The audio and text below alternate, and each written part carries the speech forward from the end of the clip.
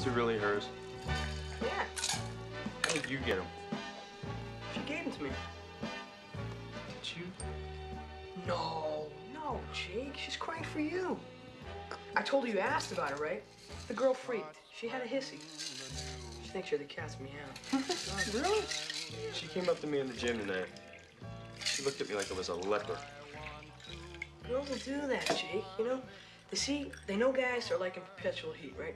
They know this shit and they enjoy pumping us up. It's pure power politics. I'm telling you. Thought she hated my guts. Games, Jake. Silly, torturous games. You know, times a week I go without lunch because some bitch borrows my lunch money. You know, any halfway decent girl can rob me blind because I'm too torqued up to say no. It's heinous. Sorry. You better not be dicking me around. Be a major downer to try and get together with this girl and find out she really does think I'm a slime. Jake, would I dick you? Me put you this way. What happens to me if I dick you? I'll kick your ass. right.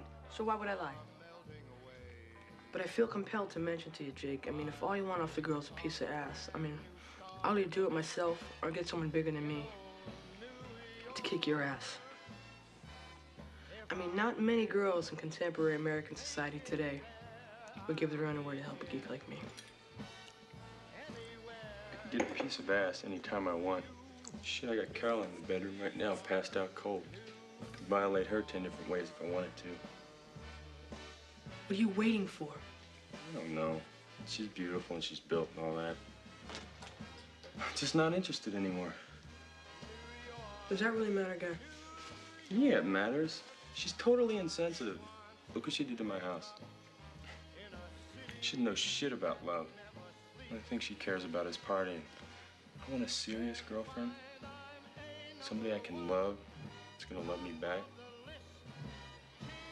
Is that psycho? It's beautiful, Jake.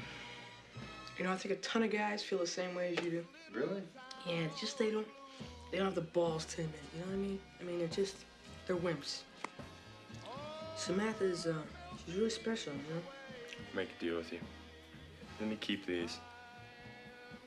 I'll let you take Caroline home. But you gotta make sure she gets home. You can't leave her in some parking lot somewhere. Okay? Jake, I'm only a freshman. So she's so blitz she won't know the difference. Jake, I don't have a car. You can take mine. Jake, I don't have a license. I trust you. Jake, I'd love to. I can't. Want first? You sure? Positive.